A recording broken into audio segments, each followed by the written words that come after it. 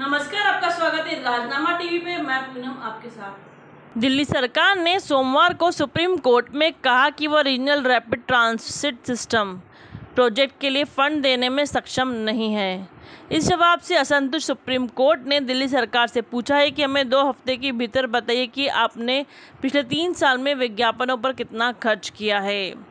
दिल्ली सरकार ने कहा कि उनके पास फंड की कमी है और ऐसे में वो आरआरटीएस प्रोजेक्ट कंस्ट्रक्शन के लिए पैसे नहीं दे सकते हैं।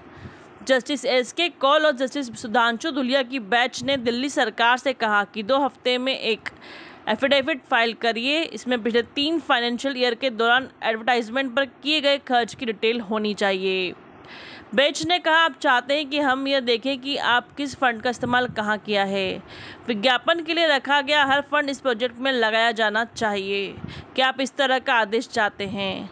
आप ही ऐसा करने को कह रहे हैं। ये राष्ट्रीय महत्व वाला प्रोजेक्ट है। आप डिटेल्स फाइल्स कीजिए।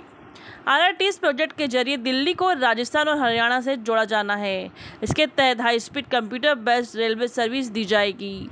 रैपिड ट्रांजिट सिस्टम के ज़रिए नॉन पिक टाइम में मॉल डुलाई की योजना है। रैपिड रेल 180 किलोमीटर प्रति घंटा की रफ्तार से चलेगी।